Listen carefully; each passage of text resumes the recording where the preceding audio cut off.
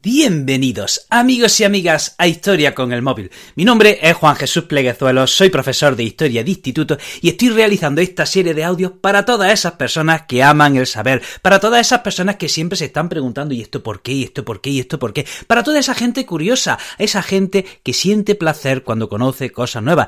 Tengo que deciros que no estáis solos. Antes de empezar con el programa, recordarte que este episodio lo puedes escuchar desde la aplicación de Podium Podcast, en la que vas a tener acceso a un montón de podcasts de muchísima calidad. También decirte que si te gusta cómo cuento la historia, si te gusta cómo veo la educación, puedes adquirir mi libro como una historia. Bueno, bueno, bueno, ¿qué programa traemos hoy? Hoy traemos un programa que me encanta. La historia también nos enseña que la sociedad, cuando quiere, puede salir de de las peores de las situaciones, que el ser humano cuando quiere puede superar la peor de las tragedias. La historia también nos ejemplifica casos de este tipo y tenemos que sacarlos a la luz, tenemos que hablar de ellos tenemos que hablar de ello, sobre todo en estos tiempos que corren. Ya saben que en Historia con el Móvil estoy dedicando como una sección especial dedicada a la historia del África Negra, una historia que en la historiografía les puedo decir que es olvidada, una historia que es obviada. Si quieren saber más sobre este, eh, sobre la historia del África Negra, tienen en este mismo podcast, en Historia con el Móvil, tenéis el podcast Nubia, el verdadero país de las pirámides, Etiopía, y los descendientes africanos del rey Salomón y, y otro episodio que se llama El Imperio de Mali y el hombre más rico de la historia. Ahora vamos a por el cuarto episodio que es Ruanda del genocidio a la esperanza. Miren, Ruanda es un pequeño país de unos 26.000 kilómetros cuadrados que se encuentra en la zona de los Grandes Lagos. Si han escuchado otros episodios de este podcast ya saben que los Grandes Lagos se encuentran en el Valle del Rif. El Valle del Rif es una fractura geológica que está dividiendo la franja este de África del resto del continente. Esa franja sigue creciendo de manera que en unos 10 millones de años esa franja se habrá separado del todo. Por eso, está, por eso están creciendo esas series de lagos eh, eh, en, en, esa franja. Los, los primeros pobladores de, de, Ruanda son los Tuats, un pueblo pigmeo. Ya saben que los pigmeos son ese pueblo africano conocido por su baja estatura, que se dedica a la caza y que sobre todo habita eh, eh, el África ecuatorial. Bueno, pues esos son los primeros habitantes que llegan a Ruanda entre el 8000 y el 3000 antes de Cristo. Llegamos al siglo XI y viene otro pueblo que es sedentario y vive de la agricultura. Quédense con este nombre, los Hutus. Más adelante llega otro pueblo que se dedica al pastoreo y que son los Tutsis. Entonces tenemos eh, como habitantes de Ruanda a los Tuats, que son pigmeos, a los Hutus y a los Tutsis. Bien, llegamos al siglo XV y parece que se va configurando un reino. Un reino del que no tenemos mucha información, un reino del que eh, tenemos información oral, ¿de acuerdo? Queda, hay pocas fuentes escritas que hagan referencia a este reino de Ruanda. Bueno, pues tenemos en el siglo XV eh, ya el reino de Ruanda dirigido por una élite Tutsi. De manera que, hay una dinastía Tutsi dirigiendo el reino de Ruanda y la mayor parte de la población son los Hutus. Hay historiadores que dicen que los Hutus y los Tutsi de hecho no son etnias diferentes, sencillamente son clases sociales, de manera que los Tutsi serían la clase alta y los Hutus serían la, la clase baja. Pero de alguna manera, en ese reino de Ruanda, los Tutsis eran la élite gobernante y los Hutus eran la mayor parte de la población. Bueno, y esta es la situación hasta, eh, hasta mediados del siglo XIX, hasta finales del siglo XIX. Ya saben que a finales del siglo XIX África es repartida entre los europeos los europeos se reparten África como una tarta. ¿eh? Ya saben que llegaron incluso a encontrarse en 1885 las principales potencias europeas para, dividir, para dividirse África. Por eso, si coges un mapa africano, ves esas fronteras rectas tan raras. Y es que, bueno, pues estos países se crearon, estas colonias se crearon ¿eh? en un mapa eh, sobre una mesa con escuadra y cartabón. Bueno, pues, pues llegamos a, a finales del siglo XIX, en 1899, y Ruanda es anexionada al África Oriental. África Oriental era una colonia alemana. Entonces, entonces Ruanda pasa a ser parte de, de, ese territorio que ya estaba en manos de los alemanes. Ruanda pasa a ser una colonia alemana. ¿Y cómo consiguen los alemanes anexionarse Ruanda? Bueno, pues lo hacen eh, sin pegar un tiro, sin violencia, sin guerra. Llegan a un pacto con la élite de Ruanda, del reino de Ruanda, y los alemanes se comprometen a, mantener la jerarquía, a mantener la estructura, eh, y esta élite, bueno, pues decide anexionarse a la colonia alemana. ¿Eh? Eso hacen los alemanes sin tocar la estructura, sin, tocar la jerarquía, se limitan a supervisar a los gobernantes. Entonces Ruanda en 1899 pasa a ser una colonia alemana. Llegamos a la Primera Guerra Mundial y Alemania es derrotada y Ruanda pasa ahora a formar parte de Bélgica. Eh, bueno, y ahora, eh, ahora el territorio ya no se llama Ruanda, se llama Ruanda-Urundi porque lo unen a otro territorio eh, vecino que, que, es Urundi, ¿no? Entonces, Ruanda-Urundi pasan a formar parte de Bélgica después de la Primera Guerra Mundial. Llegamos a la Segunda Guerra Mundial y Ruanda-Urundi pasan a formar parte de las Naciones Unidas, pero sigue bajo administración belga. Y los belgas tienen la misión de preparar al país para la independencia, a su vez que tienen que ir democratizando el país, tienen que ir creando las bases para una futura democracia. Bien, y quédense con esto, quédense con esto. Vamos a ver, hemos dicho que la élite era la élite gobernante, la élite aristocrática eran los Tutsis. Pues los belgas, como ya hicieron los alemanes, eh, se limitan a favorecer a los Tutsis y a través de los Tutsis gobernar el país. Bien, y toman unas medidas que a la larga resultarían trágicas. Resulta que deciden que cada ruandés tiene que tener un carnet de identidad y que en ese carnet de identidad tiene que estar consignado si ese ruandés es Hutu o es Tutsi o es Tuat. Cada ciudadano tenía que tener en su carnet de identidad a la etnia a la que pertenecían. ¿Qué pasa? Parece ser que hasta entonces la diferencia entre Hutus y Tutsis, pues miren, no estaba tan clara. La diferencia entre Hutu y Tutsi no estaba tan clara, parece que estaban mezclados, parece que a la gente no le importaba, parece que todos de hecho hablaban el mismo idioma. ¿Eh? Parece que, que, había una gran confusión entre quién era Hutu y quién era Tutsi, pero en el momento en que los belgas deciden que cada ciudadano tiene que tener un carnet de identidad donde se diga a qué etnia pertenecen, ahí ya sí, ahí ya sí hay una clara división entre Hutus y Tutsis. Ahí ya sí se separa claramente quién pertenece a un grupo y quién pertenece a otro. Y además se está permitiendo y favoreciendo la creación de partidos políticos con base étnica. Es decir, un partido que representa a los Hutus, otro partido que representa a los Tutsis. Y bueno, pues esto con el tiempo ah, resultaría ser una medida catastrófica. Miren, eh, hemos dicho que, los Tutsis son los gobernantes, son la aristocracia, los Hutus son la clase baja. Bueno, pues en 1959, 1959, aquí hay una primera rebelión. Los Hutus se rebelan contra los Tutsis y empiezan a saquear y a matar a Tutsis. Empiezan a, expropiar las, propiedades de los Tutsis y, y se dice que hay unos 150.000 Tutsis que tienen que abandonar el país. ¿eh? Y, hay cifras que dicen que mataron a unos 20.000 Tutsi, otros que mataron a 50.000 Tutsi, pero el caso es que en 1959 hay una primera rebelión en la que los Hutus primero hacen una masacre contra los Tutsi y obligan a otros muchos Tutsi a marcharse del país. Estamos en 1959. Los belgas ven que esto es una patata caliente, que esto no tiene solución, que esto es un polvorín, así que los belgas pues eh, optan por lavarse las manos. En 1961 organizan un referéndum y una mayoría Hutu vota por la independencia y por la república. De manera que en 1962 se concede la independencia a Bélgica y a partir de ahora tenemos a Bélgica por un lado y a Burundi por otro. Este territorio se divide en Ruanda y en Burundi. Y en Ruanda, ahora ¿quiénes van a gobernar? Los Hutus. Los Hutus, los Tutsis ya han sido desplazados del poder y ahora gobiernan los Hutus. Su primer presidente se llama Kayibanda, y este Banda empieza una política de represión contra los Tutsis y más Tutsis se tienen que ir marchando del país. Llegamos a 1973 y hay un golpe de Estado. Un señor que se llama Javiarimana da un golpe de Estado, toma el poder y bueno, pues a, este Javiarimanas unos le acusan de seguir la política de represión contra los Tutsis. Javiarimana era Hutu. Bueno, pues unos le acusan de seguir esa política de represión contra los Tutsis, otros dicen que, que no, que estaba haciendo una política de inclusión de los Tutsis. El caso es que el problema entre Hutus y Tutsis continúa. Eh, todos esos Tutsis que se habían marchado al exilio eh, empiezan a formar guerrillas, empiezan a formar guerrillas y forman lo que se llama el Frente Patriótico Ruandés, eh, sobre todo en Uganda, un país vecino. Y, llegamos a 1990 y el Frente Patriótico Ruandés, esa milicia Tutsi, esa guerrilla Tutsi, desde Uganda inicia la invasión de Ruanda. Y aquí empieza una guerra civil entre Hutus y Tutsis, entre la milicia Tutsi y el gobierno Hutu, que dura hasta 1993, que se supone termina con los acuerdos de Arusha. En esos acuerdos de Arusha hay un compromiso para que, bueno, una reconciliación entre ambos pueblos y que se termine la discriminación de un pueblo hacia otro. Y en 1993 se supone que esta guerra ha terminado. ¿Ha terminado? Pues no, no, todavía quedaba lo peor, quedaba lo peor de lo peor. Al año siguiente, el 6 de abril de 1994, en un vuelo, en un avión, está el presidente de Ruanda, Javier Arimana, y el presidente de Burundi.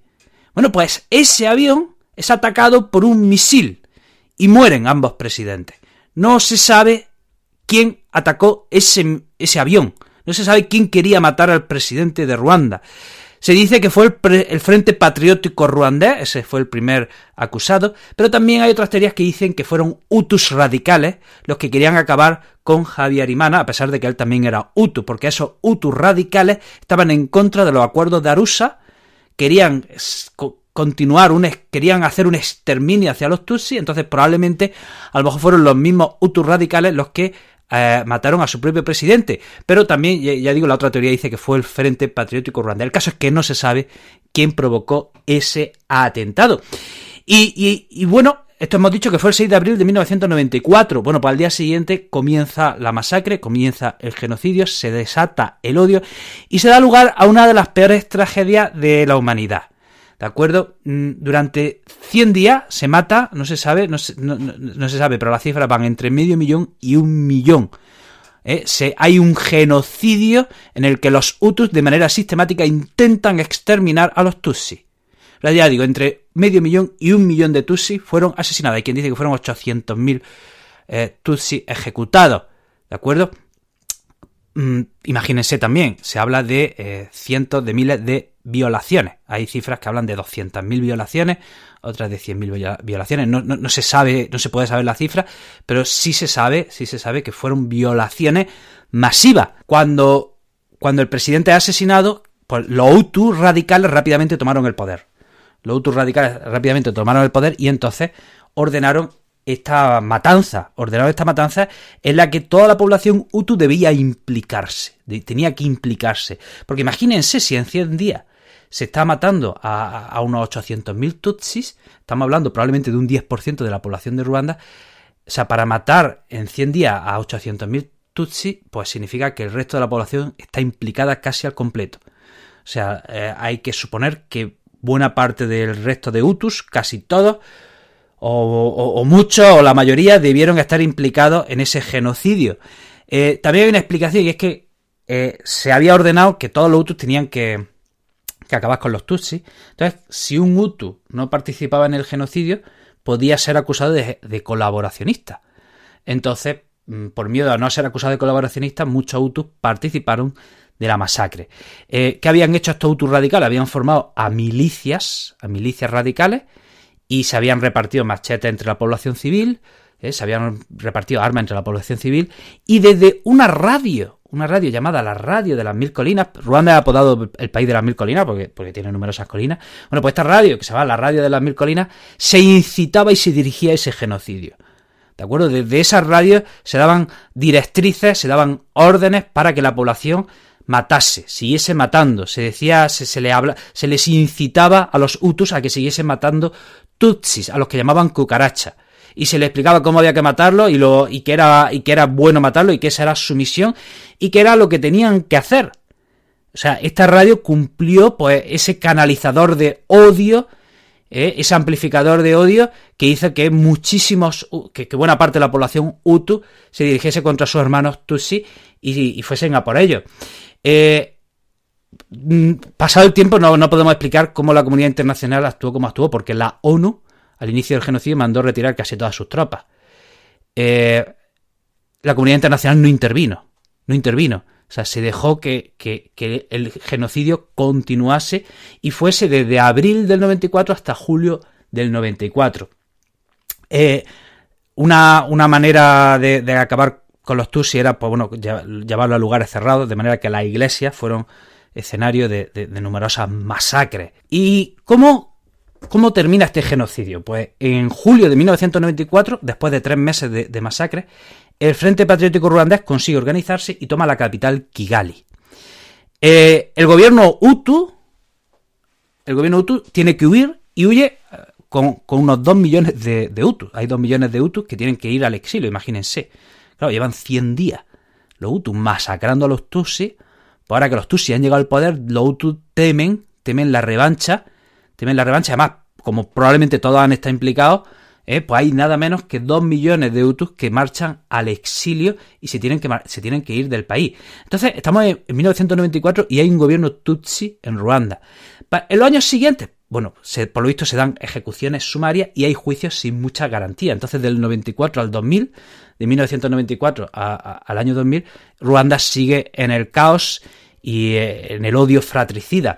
Y en el año 2000, quien era vicepresidente, Paul Kagame, toma el poder. Paul Kagame eh, era uno de los Tutsis que se había criado en el exilio, en los campos de concentración de, en el exilio, que formó parte del Frente Patriótico Ruandés, que fue uno de los soldados que tomó Kigali en 1994, desalojando a la UTUS del poder y poniendo freno al genocidio. Entonces, Paul Kagame había sido vicepresidente y en el año 2000 toma el poder. ¿eh? Paul Kagame, no nos perdamos, es un Tutsi. Bien, ¿qué hace Paul Kagame? Estamos en el año 2000, Ruanda, un país absolutamente destrozado. Bueno, pues eh, toma nota y dice, vamos a ver, ¿quién estaba en la máxima pobreza y ruina? Y luego es un país, ha conseguido ser un país desarrollado y quién lo ha conseguido en pocas décadas. Pues mira por el mundo y se encuentra tres ejemplos. Se encuentra China, Tailandia y Singapur. Y estos tres países ya en el año 2000 se hablaba de ellos como países emergentes. ¿Y qué hace Paul Kagame? Coge un avión y se va a visitar estos países y va allí y, habla con los dirigentes y toma nota. Les dice, oye, ¿qué habéis hecho? ¿Qué habéis hecho para en unas décadas pasar, pasar de ser pobres a ser, país de, a ser países de rentas medias? Y Paul Kagame toma nota, toma nota en su cuaderno de lo que han hecho estos países y le inspira, la visita a estos países le inspira su gran proyecto que se llama Visión Ruanda 2020. Entonces, él quería que en 20 años Ruanda fuese un país de, renta media y se marca en esa visión Ruanda 2020 hay 44 objetivos. 44 objetivos que iban a ser revisados cada cierto tiempo y que tenían que cumplirse. A su vez, en el año 2003 eh, aprueba la nueva constitución. Una constitución, atención, en la que se prohíbe, se prohíbe la distinción entre Hutu y Tutsi. Todos son ruandeses. Punto. Punto. Ya fuera, fuera distinciones y se prohíbe referirse a nadie como Hutu o como Tutsi. Todos son ruandeses. Adiós a la discriminación y adiós a la distinción. Como todos son ruandeses, ya nadie puede discriminar a nadie.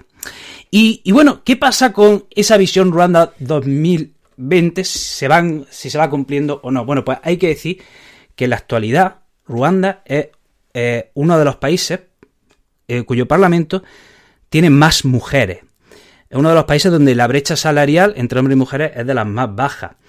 Eh, de 2000 a 2019, en esos 19 años, la economía ruandesa no ha dejado de crecer. Del 2000 a 2010, la, la economía ruandesa crecía a un ritmo del 8%. Y del 2010 al 2019 crecía a un ritmo del 7%. O sea, la economía ruandesa en los últimos 20 años es una de las economías del mundo que más rápido ha crecido. Es considerado uno de los países más seguros para negocios en, África. Es considerado también uno de los mm, países más seguros para vivir. Es un país que ha conseguido reducir la pobreza, eh, que, está, que reduciendo la pobreza a unos ritmos vertiginosos y que la está dejando atrás. Era un país, por ejemplo, que, tenía una agricultura de subsistencia y ahora exportan productos al exterior. Es decir, Ruanda, por el camino que va, eh, puede, puede en una década a lo mejor convertirse ya en un país de renta media y ahora mismo es una de las esperanzas africanas, es uno de los países que eh, se está convirtiendo en un faro dentro de lo que es África. No solo, no solo Ruanda, hay otros países también en el África Negra que están dejando atrás la pobreza, que están consiguiendo la estabilidad, que están consiguiendo sistemas democráticos. Por desgracia, esto no sale mucho en las noticias, pero bueno, hay, hay que comentarla. Y Ruanda, Ruanda en esta región se está convirtiendo en un ejemplo a, seguir y a imitar por el resto de, países. Y bueno, espero que le haya resultado interesante.